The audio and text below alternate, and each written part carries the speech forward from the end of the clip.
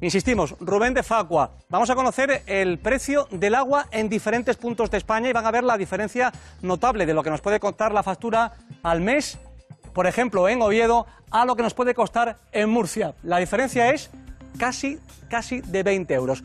Vamos a ver las diferentes zonas. En rojo tenemos las provincias donde el agua resulta más económica al mes. La provincia de Oviedo, por ejemplo, 8,58, en la de Salamanca 12,49, en la de Zaragoza 11,31, en Valladolid 10,82.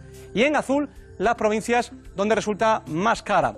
De menos a más, 22,44 en Huelva, 22,50 en Palma de Mallorca, 23,75 en la provincia de Cádiz y el tope en la provincia de Murcia, que mal lo están pasando. Y fíjense cómo tienen que rascarse el bolsillo para pagar el agua al mes. 28,43 la provincia más cara, donde la factura del agua es más cara de todo el país.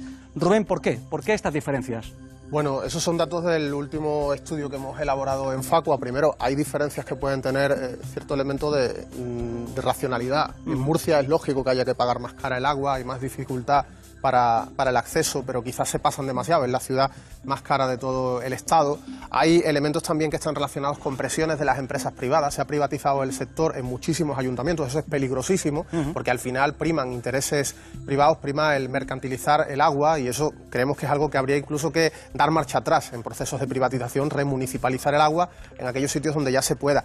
Y por tanto, también hay que pensar en lo que va a ocurrir de cara al futuro. Hoy tenemos un mapa con una diferencia, como tú dabas, de 20 euros al mes nos podemos sí, llegar son a encontrar. Casi 20 euros entre Oviedo y Huelva. Efectivamente, hasta, Perdón, el, y Murcia. hasta el 256% de variación hemos llegado a, a detectar en las tarifas. Como digo, parte puede ser razonable, parte no, parte puede estar muy relacionado con ayuntamientos donde no se piensan bien las cosas, donde las empresas privadas presionan, etcétera. Pero más allá del tema estructural, Rubén, cuando vemos, por ejemplo, la factura de la luz, y lo hemos comentado contigo, son casi todo impuestos. En la factura del agua, ¿qué es lo que estamos pagando? Bueno, en teoría deberíamos estar ya pagando en toda España el abastecimiento, el saneamiento y la depuración, aunque ese ciclo integral del agua, que además es un imperativo de la Unión Europea, no se cumple todavía en todos los ayuntamientos del país. No en todos los municipios se depuran las aguas residuales. Eso habría que subsanarlo ya de una vez por todas. También hay muchas ciudades donde pagamos un canon. Eso no ocurre en todos sitios. Ocurre en aquellas localidades o en aquellas provincias. ¿Un canon para qué? O en aquellas comunidades donde se está eh, sufragando unas obras sí, de mejora. Fíjate la diferencia que antes la estábamos puntualizando, que es espectacular.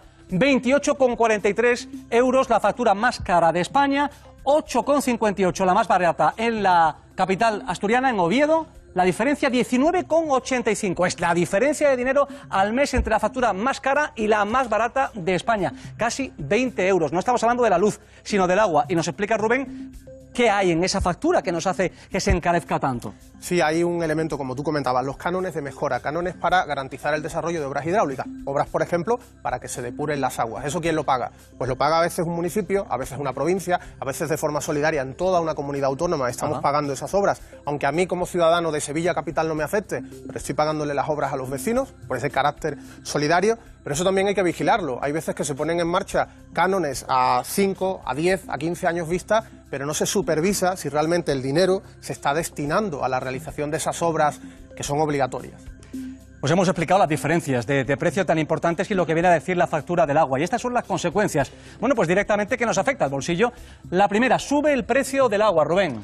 Sube, puede subir el año que viene, puede subir el siguiente y ahora es mejor momento que nunca, por desgracia, para que los ayuntamientos repiensen cómo tarifican el agua, que incorporen un modelo de tarificación por habitante, es decir, que porque tú vivas solo tengas una tarifa distinta a yo, donde vivimos en casa cuatro, que haya un precio por cada una de las personas que viven en la vivienda y así se sabrá si realmente en mi casa se derrocha o no y en la tuya se derrocha o no. Eso lo hace ya Sevilla, lo hace Málaga, lo va a empezar a hacer Cádiz, pero realmente lo tendrían que empezar a desarrollar todas las ciudades españolas. Pues tiene todo el sentido. Sube el precio de la cesta de la compra como consecuencia directa también de la sequía. Bueno, lo, lo veíamos antes en el reportaje, eh, los agricultores ven un encarecimiento de su materia prima, de su producto y eso va escalándose hasta el consumidor final. Por tanto, efectivamente, se puede producir un incremento de determinados productos alimentarios. Hay otras consecuencias que no tienen tanto que ver con el consumo, pero sí con la salud, más alergias durante más tiempo.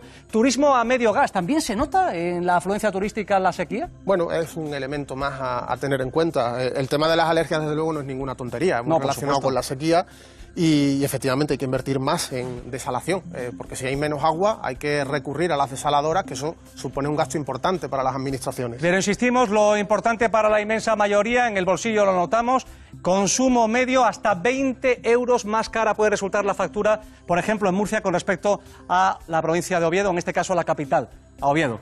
Gracias Rubén por estar con A nosotros. vosotros, como siempre. Te esperamos otro día.